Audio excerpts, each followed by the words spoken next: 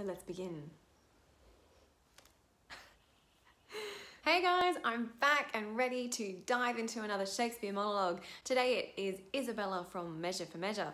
This one was requested by Rachel. Thank you very much, Rachel, because this is a cracker. To whom should I complain? I love it so much. Now, don't be too embarrassed if you're not familiar with Measure for Measure because nobody is is rarely ever done and when it's done it's not always done well. So do not panic if you're like what is measure for measure? I do recommend having a little look online for some online versions. Uh, there's a, a, good one from the royal shakespeare company directed by gregory doran i think just from a couple of years ago.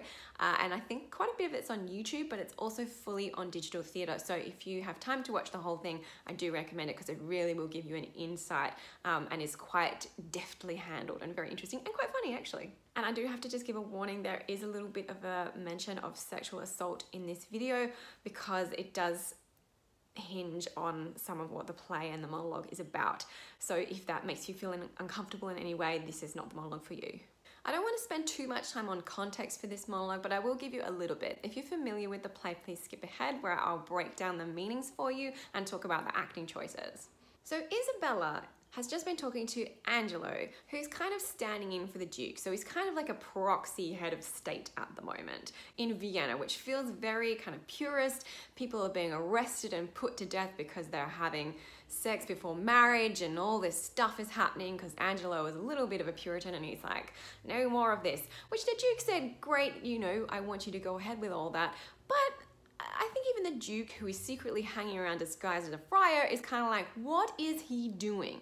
One of the people that's been thrown in jail for having sex before marriage with his lovely lady friend Juliet, who is now pregnant, is Isabella's brother Claudio. Now, Claudio goes to Isabella, please go and talk to Angelo, he's gonna love you, you're so virtuous, and so is he, you know, you guys will get along great. So she does, and they do get along great, sort of. Angelo really, really likes her, and he's a little bit thrown by this. He has a number of monologues uh, in the couple of scenes before where he's going, oh my goodness, what's happening to me? Because he totally falls for her because of how virtuous she is. So Angelo finds himself in a bit of a weird position because he desires Isabella, but he's the one that's been cracking down on everyone for fornicating, as it is called in the play. So Angelo says to Isabella, go away and let me think about it and come back tomorrow. So she comes back tomorrow and he basically says, um, what if there was someone that could, you know, save your brother's life, but you had to do something for him? And she's like, what are you talking about? And he basically eventually lays it out that he wants her to sleep with him, and if she does, he'll spare her brother's life. Now, this is a horrifying proposition to Isabella because she's extremely, extremely religious and just would never even consider it. So she says to him, I'm going to tell everybody what you've done, what you've said. And he says, Who will believe thee, Isabel? does it feel real to you or what? Like, does this happen today? Yes. Oh my goodness. He says, uh, my unsoiled name, you know, I've, everybody knows me to be virtuous and they're all just going to think that you're, you know, trying to besmirch me because you want your brother to be freed. And she's stuck. And that's basically where he leaves her. He leaves the room and this is where her monologue begins. So, in jumping into this monologue, there are two things you really need to think about before you even begin. Firstly, what exactly happened in that room? There's nothing really in the stage directions that explicitly states what happens, but it, it could be taken that perhaps Angelo tries to grab her or kisses her or whatever, like manhandles her in some way that she feels is not appropriate. So certainly read through the scene before and really track in your own mind what do you think happened exactly. And out of that, what will be the most powerful kind of stimulus for you as an actor to react to, imagining that something has happened before you start the monologue. The second thing, of course, is who are you speaking to? This is a soliloquy, so she is alone on stage. So you need to make the decision about whether she is reflecting to herself, whether she's speaking to the audience, uh, whether she's praying even. I certainly think this is an active monologue and probably benefits from some sort of communication with the audience. And if you're speaking to the audience, treating them like a confidant, a close friend who she can confide in safely. So she begins, To whom should I complain? Did I tell this? Who would believe me? Makes me feel horrible already. Firstly, I mean, that's pretty self explanatory in terms of it being quite close to modern English. She's asking probably the audience, who should I talk to about this? And that is really referring to the fact that Angelo is the head of state. There is no one above him. He doesn't have to be accountable to anyone. Sound familiar? So just a reminder there that they are actually two separate thoughts that you need to track. So the first one is, who would I tell about this? And the second one is, if I told anyone, who would believe me? Then her first kind of imagery here. Now the imagery of mouths is an interesting one in Shakespeare because often it's quite sexualized. And I think that's relevant here. Useful take on Isabella is that sexuality is possibly a little bit disgusting to her or terrifying. It's interesting to play with some of those really strong emotions that she could potentially be very, very afraid of sexuality. So when she's talking about something sexualized like perilous mouths, how does that make her feel? She's not just going, oh no, perilous mouths. It's actually like, this is a scary thing for me. And to explain what she's saying here, oh, perilous mouths that bear in them one and the self same tongue, either of condemnation or reproof, bidding the law make curtsy to their will, hooking both right and wrong to the appetite to follow as it draws. So here she's talking about Angelo being the person that can speak. So um, the, the mouth in this case, the person that could speak condemnation or approve. So, so either pardoning Claudio or condemning Claudio to death, that's in Angelo's power. Bidding the law make curtsy to their will. So he's the person in power making the law just work for him the way that he wants it to work. And then hooking both right and wrong to the appetite. And appetite always kind of means like whatever you like, whatever your preferences are. So hooking right and wrong to whatever you prefer to follow as it draws means like to pull it along. So she's got some imagery there of someone with a lot of power and she's used a kind of sexualized image in the mouth of speaking their will, making the law curtsy to them. It's like, can you imagine someone being like pushing someone down and making them bow to them? It's very aggressive, very forceful, and hooking both right and wrong to the appetite. So, again, it's very forceful imagery. So, she's saying that he's kind of grabbing whatever he likes and making it, shaping it the way that he wants. And so, in that, there's a lot of kind of subtext about the unfairness here. For someone that is in power to really misuse their power in this way.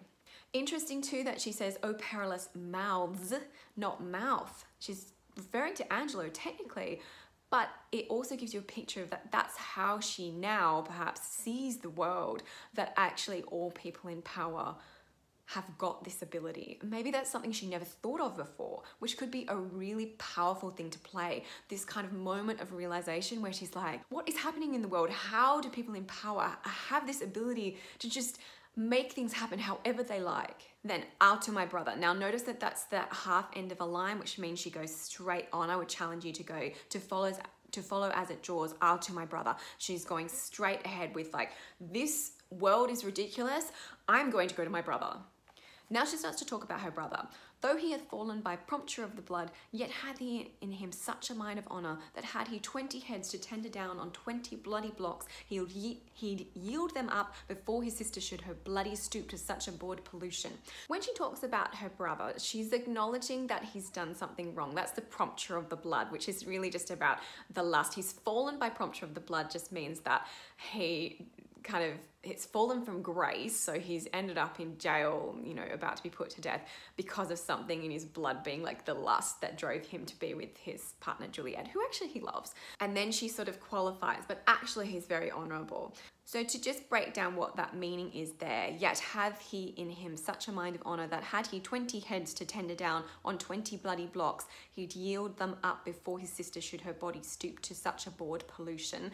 She's talking about 20 people needing to be beheaded, so that's 20 bloody blocks, um, he would just plonk them down and have them be executed to save her from that horrible sin that has been asked of her. I think the reference to such a bored pollution, what she's talking about there is sleeping with Angelo. That would be polluting her body it's such strong language when referring to that sexual act. She just cannot deal with it at all. It just completely disgusts her, freaks her out. I think you really need to inhabit that in the body. So really thinking about like what does it feel like in her body when she thinks about that idea of sleeping with Angelo.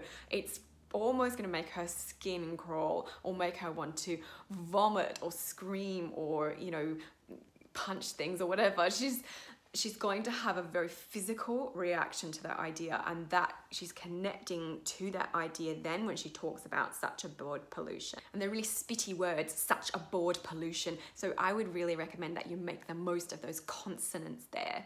But final little bit then isabel lived chaste and brother die. More than our brother is our chastity I'll tell him yet of Angelo's request and fit his mind to death for his soul's rest. So she's basically at this end point going on to say, uh, I'm definitely not doing this. My brother will have to die.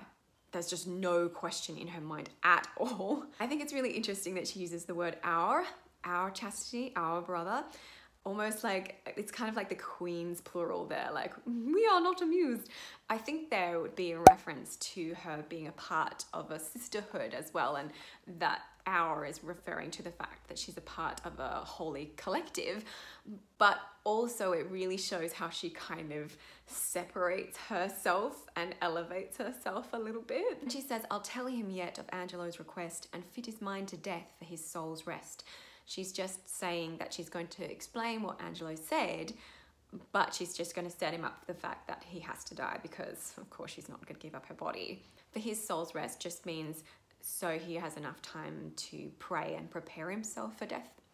So, in terms of the energy and the variety of the piece, I would start kind of small, build up quite high for O Perilous Mouse in that section. It's quite, she'd be quite angry and uh, frustrated about the abuse of power.